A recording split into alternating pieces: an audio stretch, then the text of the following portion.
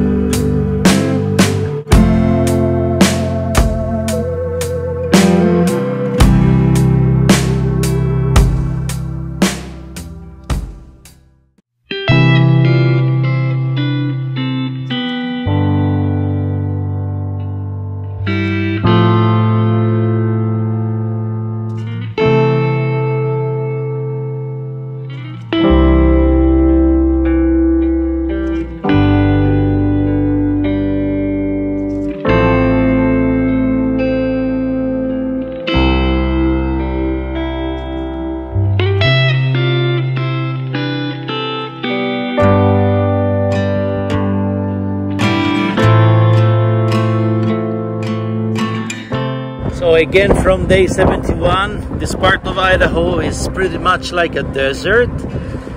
Uh, what is wrong with today? Well, it has been over a 100 degrees, I think in Celsius. We can measure with like 38 or 40 degrees. The heat is devastating. I had a massive uphill too. Um, I'm heading for something like 3,000 feet only today of elevation gained. Uh, the humidity though is pretty low. I'm not in a humid part of the country. It's like a desert dry.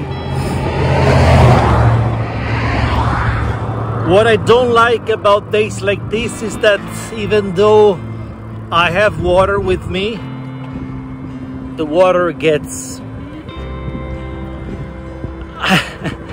the water is not uh, appealing you know it's it's it's hot. It's hot water. It's, it's, it's, it's good for coffee or tea. And it doesn't give any relief to a thirsty person. So even though I have water I have little sips of water to keep myself hydrate hydrated. But I'm so looking forward any you know cold drink gas station any coke beer gatorade whatsoever so i'm eager to get there the end of this day in uh, 10 miles and uh, find my gas station sit a little bit and have a cold drink uh, what is your name, sir? Jim Shaw. Jim. I worked at JPL NASA Yeah, really? in Pasadena, yeah. So Jim, uh, S-H-A-W. Yeah, Jim just got this for me, Okay. and that means that I put it on on my wrist, Yeah, put it on your wrist. and I can maybe access the yeah, you can access for, uh, go in the rodeo and take more pictures. so I can uh, so that I can watch the rodeo and take pictures. Yeah, and if you want to sit in the stands, you can do that too. And he did it for me. Oh, thank you very much. Enjoy. thank, thank you, sir.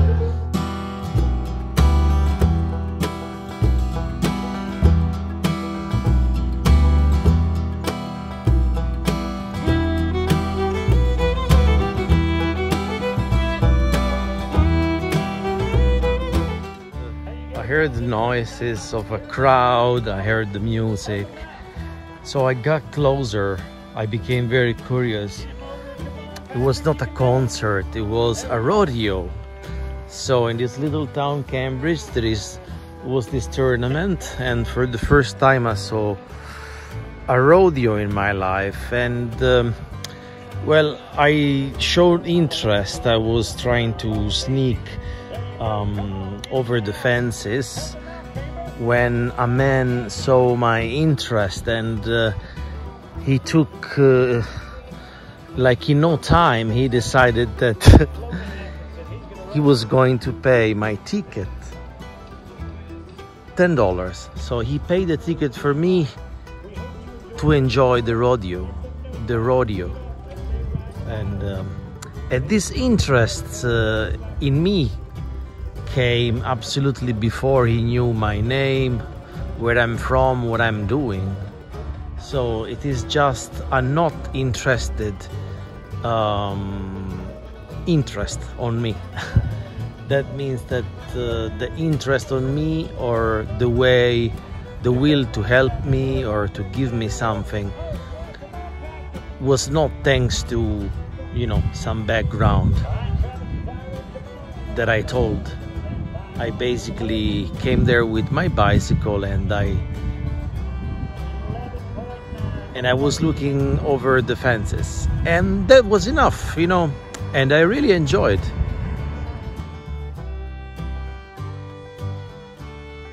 Under the water tower of Cambridge it is allowed to camp.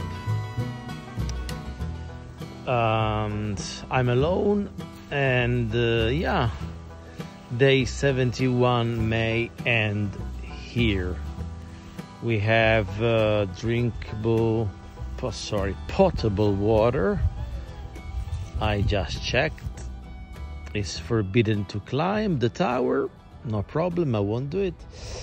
And uh, for my joy there is electricity. See how many sockets there we go. So i'm not gonna set up my tent. I am more than used nowadays to sleep over the board over the table. It's safe enough dry enough and warm enough. And tomorrow tomorrow then let's see let's see. I'm gonna study them up uh, right now like few minutes. So i'm gonna think about tomorrow